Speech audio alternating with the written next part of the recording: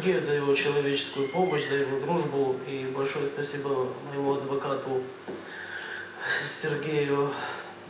Вы знаете, я хотел бы попросить вас, вот вас, Сергей, вас, Сергей, э, оставить меня одного, больше мне не помогать ни в чем. Если я уже, знаете, вот скажу вам честно, я уже не маленький мальчик, я взрослый мужчина, я могу сам отвечать за свои поступки. Если я виноват, то я буду отвечать. А вы себя Но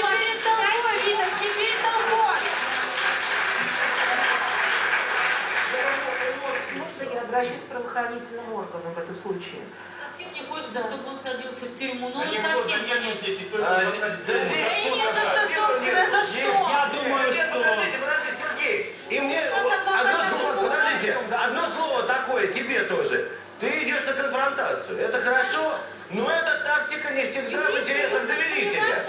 Понимаешь? побольше, это понятно. Не, ну я не так грубо ставлю вопрос, но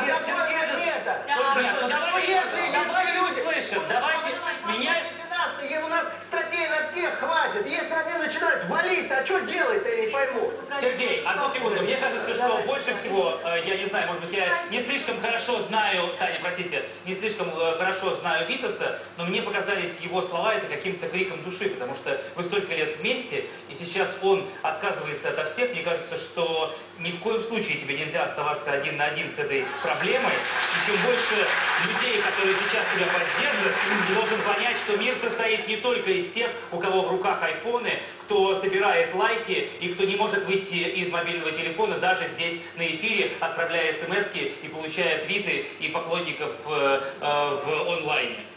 Я думаю, что для Витаса эта история будет хорошим уроком, как и для всех тех, кто сегодня смотрел эту программу.